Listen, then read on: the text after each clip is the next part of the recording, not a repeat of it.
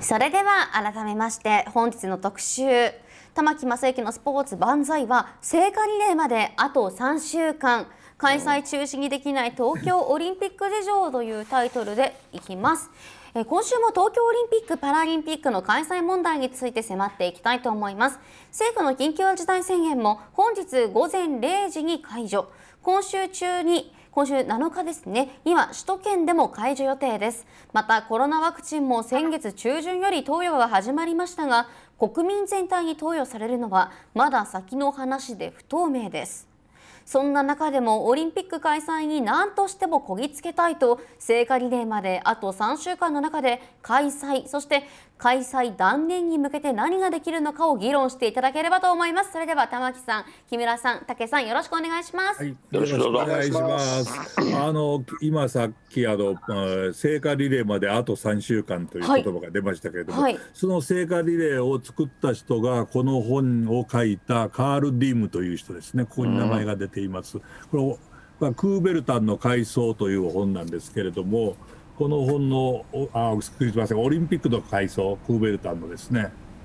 オリンピックの会翻訳しているのが大島健吉という方でベルリンオリンピックのあの三段跳びのあ走り高フォワード三段跳び。ですね。3位に入った人ですね。でこの方あの東京オリンピック1964年の選手団の団長で,、で1964年にあの、えー、スポーツ少年団を作ったんですね。うんスポーツ少年団であの聖火リレーをやった人なんです。あのやらした人なんですね、うんうん、この大島健吉さんで面白い人で酒飲みで酒で酔っ払って対談しているテープなんか聞かせてもらったんですけれどもあのこの方その大島健吉さんが散々そのカール・ディーブさんとかいろんな人に話を聞いて、えー、この聖火リレーどうだったかって聞いたらやっぱりナチスはスパイに使っていたと。うん、要するにこれはベルリンオリンピックで始まったんですね、はい、これまで聖火燃やすっていうのはアムステルダムのオリンピックで1928年に始まったんですが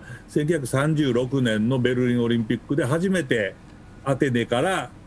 ベルリンまで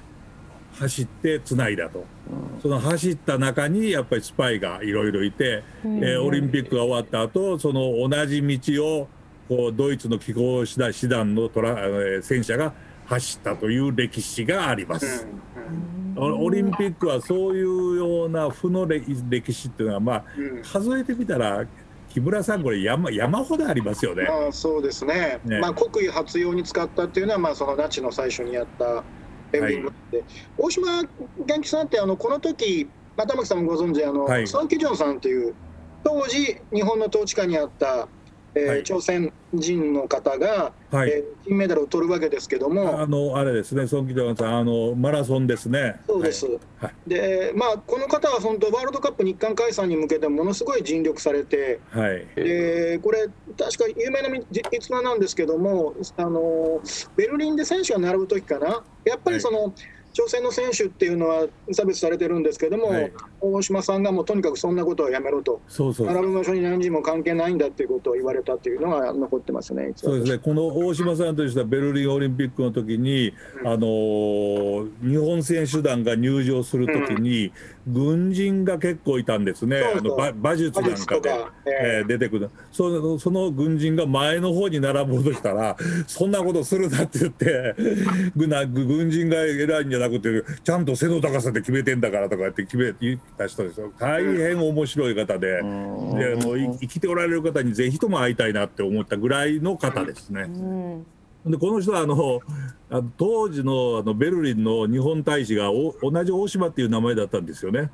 それであの私は大島だって言ってヒトラーまで会いに行って会った人ですから。そしたらあの日本大使と間違えられてヒトラーが面会したという。ななかなかすごいややり手の人ですがこの人がその。まあいろいろその聖火リレーの言葉で残しているんですけどこれ聖火リレーってやっぱりやらなきゃいけないもんですかね？木村さんいかがですか？あのまあ、だからやっぱりそれコロナ禍ということが一つありますよね。はい、で実際、まあ、かつては本当にこれすごくその、えー、崇高な、えー、セレモニーだったと思うんですよ。周知の通り酒井義成さんが。はい、なぜ1964年の最終的な聖火ランナーになったのかというと、ね、酒井義則さんが8月6日の、はい、原爆投下の30分後に誕生された。広島で、ね、広島で誕生された選手、非常にその意義深いそのセレモニーだったと思うんですよ。はい。まあ、ところがやっぱり今回は、えーまあ、まず最初ね J ビレッジから出発させようと、はい、はい、これもう真逆じゃないかと思うんですよ。原発事故がやっぱりアンダーコントロールでない中に、えーまあ、復興だとか、それからやっぱり、はい、あの放射能の日というようなニュアンスで、あの地から走らせようということ自体が、僕はやっぱり政治が入ってきてるような、それから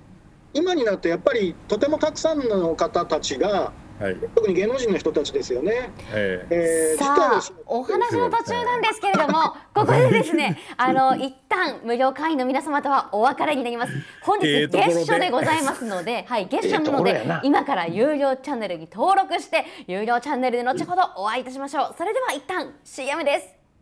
えー、ということで、えっとどこまで行きましたか？話がさっきは。聖火リレーのやるべきかというお話ですね。芸能人の方もね。はい、えっ、ー、とだ、えー、J, J ビレッジから始めるのはやっぱりおかしいと、はい、えー、木村さん。これ武さんどう思われます？僕はね、あのやっぱり成果あった方がいいなと思ってましたよ。思ってました。えー、ですけど。まあ、このオリンピック始まる時からもうボタンの掛けが掛け違いが始まってしまっててだからやっぱり僕はねコロナコロナ去年のコロナの3月30日前後その緊急事態宣言やるやらないって言った時の、はい、あの時にオリンピックキャンセルにしたらよかったんだと思うんですよ。もうだからもうあそこから嘘の嘘っていうかねもうもう本当に日本の戦時中のもう要するにやめられないやめられないことが始まっているので。これだから大変だと思いますよ。だから聖火リレーはやるんだったらつけなきゃパッケージでやらなきゃいけないと思いますけど僕は島根の知事の丸山さんもそうですけど、はい、なぜ全国回らなきゃいけないのかよくわからない。理解できないですよそれは。私はあのオリンピック招致の時には大賛成してたんですが、うん、だんだんだんだんその気持ちが離れてきた、うん、そのだんだんだんだん離れる一つにあの聖火リレーがあったんですね、うん、あのコースを見た途端になぜ一筋一筆書きでないといけないのか、それから全部がつながってないんですよね、あれ正直言うと。がってない。リレーしてないんですよね、と、うん、夜になったら自動車で移動するんですよね。そうです見せ物なんですよね、要するに、うん、みんなの面白いところを見せるだけなわけですね。うん、あれ、何のためにそんなことになってるのかって聞いたら、あのスポンサーのためだって言うんですね。要するにあのかつては4つに分かれて、うん、あの日本海側と太平洋側とはずっと走って東京で一致するっていうで毎毎晩あの夜になったら各あのなんとか公民館とかあるいは学校でこうともしてみんな徹夜でそれを見てたんですよね。あ見守ってたんですか？1964年の時は。だからだからそれが全部流れてたのが今度流れもないんですよね。こまこれは、ね、というかあのあと3週間なんですけれども現実的に見て、開催